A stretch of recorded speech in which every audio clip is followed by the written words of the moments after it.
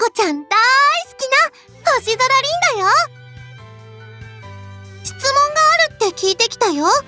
なんでも凛に聞いてね。ん凛がスクールアイドルとして挑戦したいこと？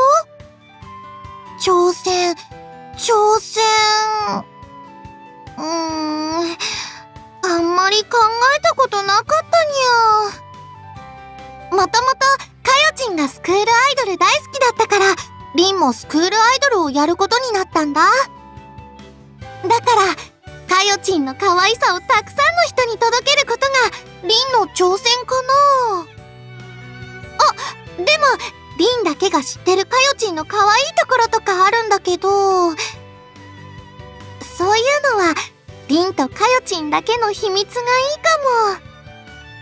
その分、凛も元気をいっぱいで出していくからいいかにゃリンの元気いっぱいパフォーマンスで見てくれた人をみんな元気にしちゃう。だから最近元気ないな笑ってないななんて人がいたら絶対リンに会いに来てね。